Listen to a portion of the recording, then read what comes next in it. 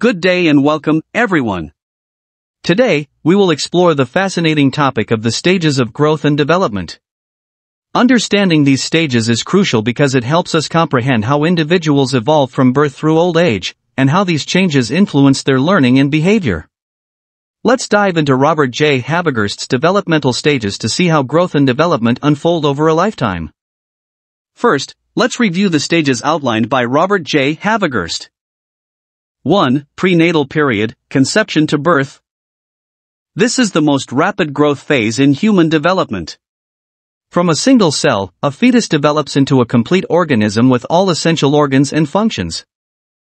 For instance, during this stage, a mother's prenatal care ensures that the fetus grows healthily, with regular checkups to monitor its development, including the heartbeat and limb movements.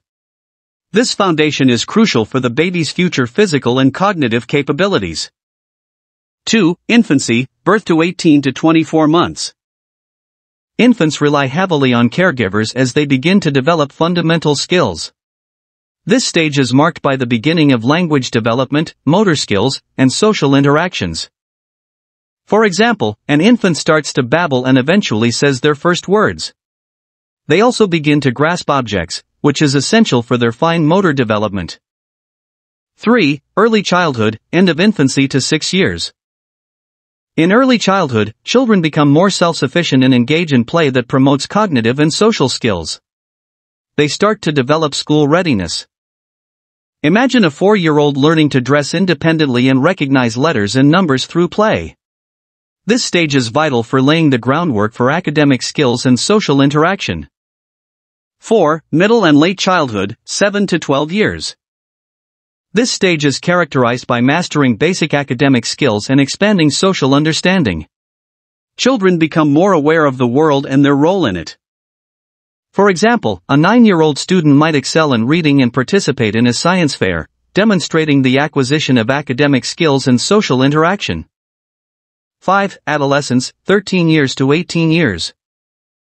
Adolescence involves rapid physical changes and a focus on identity formation. This period is marked by significant emotional and cognitive development. Picture a teenager experiencing a growth spurt and exploring new interests to figure out their identity. They might also face challenges such as mood swings and peer pressure. 6. Early adulthood, late teens or early 20s to 30s. Early adulthood is about establishing independence, pursuing career goals, and forming intimate relationships. For instance, a young adult might start their first job, move into their own apartment, and begin a serious relationship, setting the stage for personal and economic stability. 7. Middle adulthood, 40 to 60 years. This stage involves expanding roles and responsibilities, such as career achievements and supporting the next generation. Individuals often reflect on their life and career. An example could be a 50-year-old professional who mentors younger colleagues and balances work with family responsibilities. 8. Late adulthood slash old age, 60s and above. Late adulthood involves adjusting to physical changes, retirement, and reflecting on one's life achievements.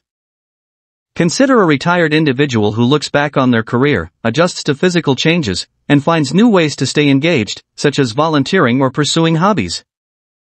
Now, let's look at the characteristics of early childhood, from the end of infancy to around age 6. As mentioned here on our slide, problem or troublesome age. At this stage children develop distinctive personalities and demand an independence which, in most cases, they are incapable of handling successfully. Some are found to be obstinate, stubborn, negativistic, and antagonistic. They have frequent tantrums and often bothered by irrational fears and jealousies. Children at this stage may exhibit challenging behaviors as they test boundaries and assert independence. For example, a three-year-old might throw a tantrum when denied a toy, as they are learning to manage their emotions and desires. Aside from that, we also describe this stage as toy age because play is central, and children use toys to explore their environment and learn new skills. Imagine a child using building blocks to create structures, which helps them develop spatial awareness and problem-solving skills. Preschool age. Children start developing essential skills for school and engage in imaginative play. For instance, a preschooler might learn to recognize letters and numbers through interactive games and role-playing activities. We educators often describe this stage as preschool age because this is the perfect time to be exposed to preschool. Pre-gang age. Social interactions become more complex, but children are not yet forming tight-knit groups. A four-year-old might play with several friends but hasn't yet formed close friendships or social groups. Pre-gang age is the time where their social skills are getting laid or starting to formed. Exploratory stage slash questioning stage, children ask many questions as they seek to understand their world. An example is a child who frequently asks why about various phenomena, reflecting their curiosity and eagerness to learn. And also, based on experience and observations, a child at this stage often asks many questions. Let's not discourage these questions because it's important in their growth and development. Creativity stage, imaginative play and creativity are prominent as children experiment with different roles. Consider a child who creates elaborate stories during playtime, such as pretending to be a superhero, which enhances their creativity and social skills. Let's explore the characteristics of late childhood, roughly ages 6 to 12. We also describe this stage as troublesome age, but mainly this is due to peer influence becoming more significant to them, and this may result to conflicts.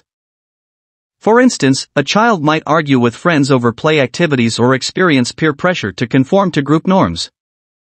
Sloppy age, as children develop organizational skills, their personal spaces or work might be less tidy. For example, a child's desk might be cluttered with school supplies, reflecting their growing but still developing organizational skills. Quarrelsome age, conflicts with siblings or peers can occur as children assert themselves and test boundaries. A child might have frequent disagreements with siblings over shared toys or chores. Elementary school age, this stage is marked by mastering academic skills and forming broader social interactions. So we educators describe this stage as the formal schooling age. Critical period. It is described as critical period because there is a focus on achievement and developing habits that impact their future learning. For instance, a child develops a routine for completing homework and practicing new skills like playing a musical instrument. These habits and practices may result into whether they will be achievers as individuals or not. Gang age, peer acceptance becomes important, and children may seek membership in groups for social belonging. As compared to previous stage, pre-gang, their social skills and their desire to become part of groups are only starting, but in gang age or in the late childhood stage, this is mainly their concern aside from academics. A child might join a sports team or club to fit in with peers and establish their social identity. Having said that, this stage is described as age of conformity, because children are more willing to conform to social norms and group expectations. For example, a child might adopt popular fashion trends or interests to fit in with their friends at school. Finally, let's discuss the characteristics of adolescence, from around ages 13 to 18. Adolescere, to grow, this stage involves significant physical and psychological growth. An adolescent might experience a growth spurt, and their body undergoes changes associated with puberty, such as developing acne or growing taller. To make these concepts more relatable, we'll use the story of Romeo and Juliet as an example. This classic play by William Shakespeare vividly portrays many aspects of adolescent development. Adolescere, to grow. Adolescence is a time of rapid growth, both physically and emotionally. In Romeo and Juliet, we see this through the characters of Romeo and Juliet, who are both teenagers navigating the tumultuous period of adolescence. Their rapid physical growth and evolving emotions reflect the developmental changes typical of this stage. Next, this stage is also described as Period of change, rapid physical, emotional, and social changes are characteristic of this stage. A teenager might experience mood swings and develop new interests as they navigate the transition into adulthood.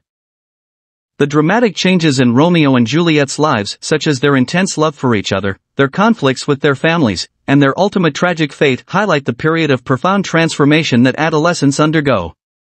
They experience intense emotions and seek to understand their place in the world, often leading to dramatic decisions and actions. Time to search for identity, adolescents explore different roles and values to form their identity. For example, a teenager might experiment with different hobbies or styles to understand their personal preferences and identity. In the case of Romeo and Juliet, both of them are in the process of forming their identities. Their passionate relationship is part of their exploration of who they are and what they want out of life. Romeo's impulsive nature and Juliet's determination to defy her family's expectations reflect their struggles with identity and self-definition. Time of unrealism, adolescents may have idealistic and sometimes unrealistic expectations about the future. A teenager might envision a grand career or lifestyle that may not be entirely feasible but reflects their hopes and aspirations. With the story of the two, the idealistic and sometimes unrealistic views held by Romeo and Juliet are emblematic of adolescent thinking. They envision their love as a solution to their problems, despite the real and serious obstacles they face. This idealism leads them to make decisions that are emotionally driven rather than practical. Heightened emotionality, emotions can be intense and fluctuate frequently as adolescents deal with their evolving sense of self. An adolescent might react strongly to social situations, such as feeling elated after a positive event or deeply upset after a conflict with friends. The play is filled with extreme emotions, joy, despair, rage, and love all of which are heightened during adolescence. Romeo and Juliet's reactions to each other and their circumstances are intense and often lead to impulsive actions. Their feelings about their families, their love, and their ultimate fate all showcase the emotional extremes experienced during this stage. By examining Romeo and Juliet, we can see how the story embodies the complexity of adolescence. The characters' experiences reflect the typical developmental challenges of this stage, including the search for identity, the influence of emotions, and the impact of idealistic thinking. In conclusion, understanding the stages of growth and development helps us appreciate the various changes individuals undergo throughout their lives. Each stage has unique characteristics and challenges that influence learning and behavior. By recognizing these developmental milestones, we can better support and guide individuals through their growth journey. Thank you for joining today's lesson. If you have any questions or need further clarification, feel free to ask. Stay tuned for more insights into developmental psychology. Have a great day.